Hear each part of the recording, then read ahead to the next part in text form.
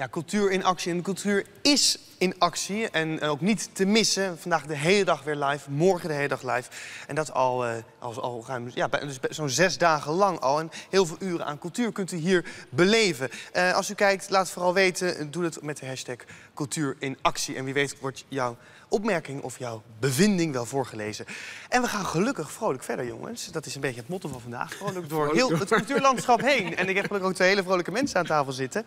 Oren Schrijver de, uh, van Performance Agency en Iraida Meerzing, Meerzong? Meerzorg. Meer, Meerzorg ja. van Meerzorg Talents. Ja, uh, we hadden net twee mensen die natuurlijk ook vanuit uh, de agency-kant zeg maar, aanschoven. Ja, het zijn dus ook zelf, we zitten allemaal in de Nederlandse Agentenassociatie. Kijk. Het is allemaal dezelfde club. Dus jullie kennen elkaar ook allemaal? Zeker. Ja, zeker. dat is gezellig. Het is even een reunie dan. ja. kort. Nee, maar we spreken elkaar best regelmatig. We vergaderen vaak. We bellen onderling ook wel eens om dingen met elkaar te bespreken. Ja. Um, dus we spreken elkaar wel regelmatig. Dat is in deze tijd ook wel, denk ik, echt nodig. Ja, nu, nu nog vaker. Ja. ja. En we, we, om te beginnen even, we hebben net even alle kaarten op tafel gegooid. Wie kon het meeste bieden? Uh, om toch ook even jullie neer te zetten. Uh, uh, wie zit er allemaal bij jou? Heb je een paar leuke namen die bij jou in de stal zitten waar je trots op bent? Ja, oh, zijn we toch even nieuwsgierig, hè? Ja, maar ik, vind het, ik ben trots op allemaal. Ja, um, uiteraard. Ja, maar je gaat een beetje het probleem van deze vraag is. Dat heel veel mensen vragen, sorry dat ik jou zeg maar nee, in de reden val. Maar je krijgt dan heel snel, de mensen willen eigenlijk gewoon de meest commerciële naam horen. Dat is Terwijl waar. dat ja. niet per se wil zeggen nee. dat dat degene is die... Ja, die is niet nou, beter dan de ander. Oké, okay, maar noem dan een paar namen waarvan je, waarvan je zegt... Uh, daar weten we eigenlijk te weinig van. En waarvan je zegt, na deze uitzending moeten mensen die even online opzoeken. Dat ze weten van, oh, dan moet, die moet ik in de gaten ja, Dat vind ik dan een veel, dat is, dat leukere ja, Mag jij als eerst beginnen? Dan kan jij er even... Nou, want jij ja, ik, heb, ik heb mijn, dat zijn, noem ik altijd mijn twee cowboys. Dat zijn twee jongens die heel veel samenwerken. Die hebben ook samen een filmbedrijf. En dat zijn Steve de Bot en Kai Gerdanus. En ja. Kai Gerdanus... Die komt ook nu wel met wat dingen uit. Die zullen mensen wel kennen. Steve heeft ook een aantal dingen, maar die zullen mensen misschien minder goed kennen. Terwijl hij dus typisch zo'n gast is. Dat zeg ik altijd tegen hem. Ik zeg, jij moet meer op tv. Gewoon, en dat is, dat, dat, dat is, hij is een onwijs goede acteur. Hij heeft een superleuke kop. En op een of andere manier, uh, uh, hij werkt ook veel, want hij doet ook niet zomaar alles. Want hij schrijft ook veel. Dus maar ik wil, ik wil eigenlijk misschien nog wel meer dan hij. Ik wil hem gewoon meer in bepaalde dingen zien. Ja. En dat heb je gewoon bij sommige mensen. En dat gaat ook gewoon komen. Maar dat het, wij hadden het er net ook nog over. Dat soms zijn mensen zitten een tijd bij je. En dan opeens gaat hij. En wanneer dat punt is, is bijna niet zeg maar, wetenschappelijk te voorspellen. Nee. Je, je moet wat dat betreft ook een beetje met je hart kiezen. Dat je zegt, ja, die, daar geloof je gewoon in. En, dan, ja, en die mensen zijn gewoon... En uh, die jongens... Dat, dat dus welke twee namen nog één keer? Voor... Kai Gredanus en Steve de Bot. Noteren we. Heel hard giechelen. En dan... Uh, uh, kijk, ik zie... en ja, jou de ik, eer. Ik vind het lastig, want ja. ik, ik vind dat ze allemaal de aandacht mogen blijven verdienen. Ja, um, ja het is ook maar, een stomme vraag. Het is een stomme vraag, maar toch leuk. Ik vind het altijd leuk. een lastige vraag. Maar even in de, in de week waar we nu zitten, noem ik de twee jongens, um, Werner Kolf en Mandela WW. Ja, en waarom? Um, dat zijn uh, zeer getalenteerde acteurs die veel meer aandacht mogen hebben en ook veel meer mooie rollen mogen spelen.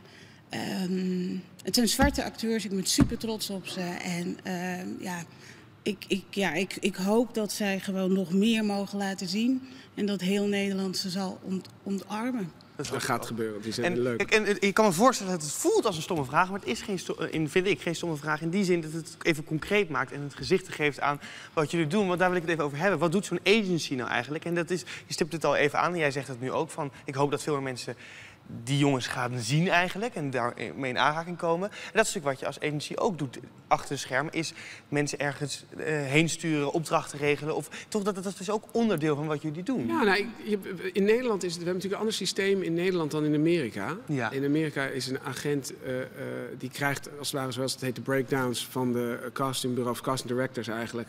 En daar die sturen hun acteurs zeg maar op auditie. In Nederland wordt het veel meer vanuit het castingbureau naar de acteur. En komen de agenten pas in play. Even heel simpel gezegd. Ja. Zodra er een contract getekend moet worden. Dus agenten in Nederland zijn veel zorgender. Meer zorg. Ja. Uh, nee, maar die zijn veel, we zijn als agenten moeten we veel meer kijken naar hoe beslagen is, komt iemand ten ijs. Zodat hij gevonden wordt. Zodat hij goed kan casten. Ja. En dan daarna komt het hele contract van. Maar de agentschappen in Nederland zijn veel, um, kennen hun acteurs beter dan bij wijze van spreken in Amerika. Uh, want wij zijn manager agent, beetje jurist en publisher in één. Ja. En dat maakt... Ja, uh, soms ook een beetje accountant. Ja, ze is psychologische hulpverlener. Ja, hoe- Phil, maar hoe-. Hoe doe je dat dan? Als je iemand, dus je zegt, hè, begeleiden, dat die Ja. beslaagde ijs komt ook. Hoe, hoe, hoe gaat het in zijn werk? Is het dan... Ja, ik ben ik gewoon benieuwd naar hoe bel je dan eens in zoveel tijd? Of hoe, hoe moet ik dat voor me zien? Hoe is zo'n relatie ingericht? Eh, nou, ik denk dat het ook wel per agentschap verschilt. Want eh, ja, hoe groter je club is, hoe lastiger het misschien ook is. Maar eh, bij mij begint het al bij het lezen van een script. Als wij een castingvoorstel binnenkrijgen, dan ga ik meelezen, kijken of er ehm, uitdaging in de rol zit. Ehm, en dan adviseren, ehm, helpen met bijvoorbeeld de casting. En op het moment dat de rol is verzilverd, dan komt het contractgedeelte. En dan doen we ook de planningen. En dan zorgen we dat de acteurs op de juiste plek aanwezig zijn. Ehm, en, dat, en zodat zij zich kunnen focussen op de voorbereiding van hetgeen waar zij goed in zijn, Ja. acteren. Dat vind ik wel interessant om te horen. Want je, als je heel plat naar, kijkt naar eh, agencies, dan kan je denken van nou, dat zijn mensen die alleen bij de contractonderhandelingen, hè, dat is misschien voor de hand liggend om Ja. komen kijken. Maar dat je zegt van ik lees eigenlijk samen met de acteur, in dat geval eh, het script en ik neem het door. En ik adviseer ook van hé, wat zijn de kansen in zo'n rol? Ja. Adviseert iemand ook? Je kan niet zomaar adviseren en zeggen... ja, ik vind er geen zaak aan. Want dan ga je erg op smaak adviseren. Ja. Maar je wil adviseren van wat past bij iemand. Want dan kan hij groeien. Om te weten wat bij iemand past, moet je je cliënt wel een beetje kennen. Je moet weten wat, waar wil iemand heen, waar wil hij voor staan. Sommige mensen willen gewoon eh, een bepaalde commerciële hoek in. Eh anderen willen een, eh, wel een commerciële hoek, maar dat, dat doen ze dan meer inhoudelijk. Ik vind dat een beetje een waardeoordeel. Maar iedereen heeft zo zijn smaak. Sommige mensen willen theater en film combineren. Sommige mensen willen schrijven en film. Dus er, als je dat niet weet, dan kan je ook niet zeggen als er iets binnenkomt of je leest een script, dat je zegt, ja, dit past helemaal niet. Ja. Dus eh, de meeste agentschappen, wij proberen ook veel eh, met mensen in het begin vooral heel veel te kijken naar waar wil je heen Ja. en wat heb je dan nodig om daar uiteindelijk heen te gaan. Dat is ook een beetje brandmanager wat je doet. Je kijkt ook van wat iemand merkt, maar dat merk moet wel komen vanuit de persoon. Je kan niet zeggen, hé hey man, weet je waar jij goed in past? Daar en daar iemand induwen. Je kan niet tegen iemand zeggen, draag een rode broek elke vrijdag op social media, dan word je groot.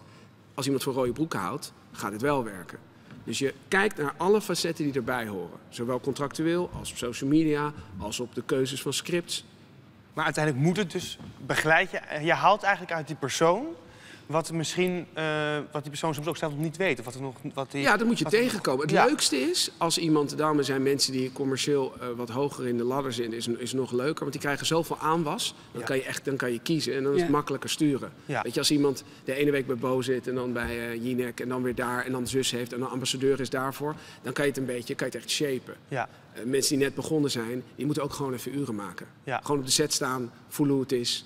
Eh, dan is dat vooral belangrijk. Ik vind de set, op de set staan is een, even een mooi haakje naar toch even wat je dan in deze dagen eh, waarschijnlijk moet doen. Want ik kan me voorstellen dat eh, heel veel van die acteurs hè, die, die gaan, mogen misschien weer wat doen. Hoe begeleid je ze dan in de huidige context? In, in, in nou, filmen misschien met coronamaatregelen of acteren met coronamaatregelen. Wat zijn dan dingen die jij tegenkomt?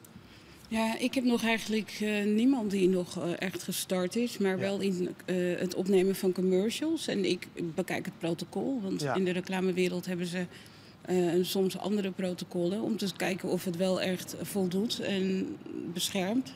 wat, wat ook eigenlijk gelukkig altijd het geval is. Ehm, Maar als je zegt van ik heb eigenlijk voor de rest niet zo heel veel, dat komt dus echt door de coronacrisis, dat het helemaal stil ligt en dat er. ja, officieel ligt het, Ja. het echte werk ligt aardig stil. Ja. Dat eh, zeker. Je, ik ben druk met ehm, Managen. Ja, nou ja, kijk, ik ben, wat ik net zei, we zijn natuurlijk ook een soort Dr. Phil en een Oprah Winfrey. Dus je hebt natuurlijk ook wel de gesprekken om mensen te motiveren. Van, nou ja, maar aan de andere kant, iedereen maakt dit mee. Ja. En iedereen staat ook wel stil. Ehm, maar ja, ik heb niet echt mensen nog... Nou, wij hadden op een gegeven moment dat er moest ingesproken worden. eh, zeg maar even nog een stukje inspreken. Dat heet een EDR voor na een film. Als er stukjes geluid niet helemaal goed zijn, wordt het in de studio gedaan. En toen, ehm, toen hebben wij wel gezegd, van, nou, dat, dat hebben we echt aan de acteur gevraagd. Wil je naar die studio?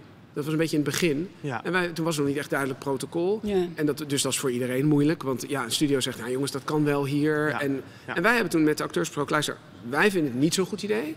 Eh, hoe sta jij daarin? En dan zei ze, ja, nee, dat kan wel. Eh, Daar voel ik me oké bij. Ik neem mijn eigen koptelefoon mee. Ja. Nou, oké. En dan hebben we nog de, de... Maar een ander die kan zeggen wij van, ja, dat, dus stuur maar gewoon even naar het huis een setje. En laat iemand het thuis even doen. Dus dat is, dat is eigenlijk. Daar ga je dan wel even voor staan. een agency doet. Ik vind de, de samenvatting.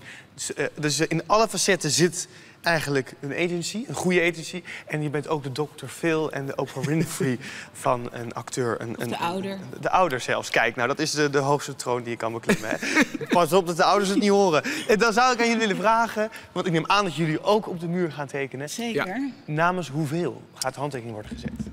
Ja, namens alle, alle mensen die we vertegenwoordigen binnen NA, en dat zijn er 877. 877. Nou, dat is, dat is, dat, die gaan we erbij zetten. Dat betekent dat we op de ruim 354.000 mensen uh, uit gaan komen. Goed zo. 877, dat is een heel erg mooi aantal. Ik zou zeggen, maak ook een hele grote handtekening. Loop er alsjeblieft heen, zou ik kan zeggen. Kan ik op jouw schouder staan? Dan en, we uh, links in de hoek nou. Anderhalve meter, jongens. Um, en fantastisch. En, en ik hoop dat uh, nou, die 877 mensen die gaan we luid en duidelijk horen. En we hebben een aantal nieuwe talenten gehoord voor in de toekomst. Terwijl jullie tekenen, uh, gooi ik nog een paar reacties erin die we hebben gehoord uh, van mensen online. Hè. Onder, via de hashtag Cultuur in Actie kun je je uh, verhaal vertellen. En Maartje is zo iemand die zegt, ook ik wil hiermee mijn stem voor cultuur geven. Nou Maartje, jouw stem is binnen en met je uitroepteken erachter.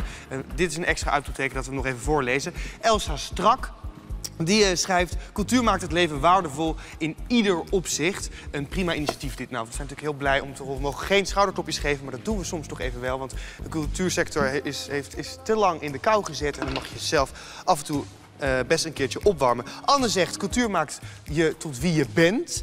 Nou ja, als je het niet weet, als de cultuur dus niet is... en je kan dus jezelf eigenlijk niet in de spiegel meer tegenkomen... dan heb je natuurlijk een probleem. En de laatste, een lange van Huip van Winkoop. Cultuur is de inductiekamer van iedere samenleving, ook van ons. Het brengt ons verder, houdt ons in beweging... leert ons nuanceren, maakt ons communicatief en innovatief zorgt voor balans, maakt ons reflectief. Cultuur is de oorsprong van onze samenleving. Politiek en economie zijn slechts een afgeleide van cultuur. Zo, take that zou ik zeggen. We gaan verder met de Cultuur in Actie Marathon.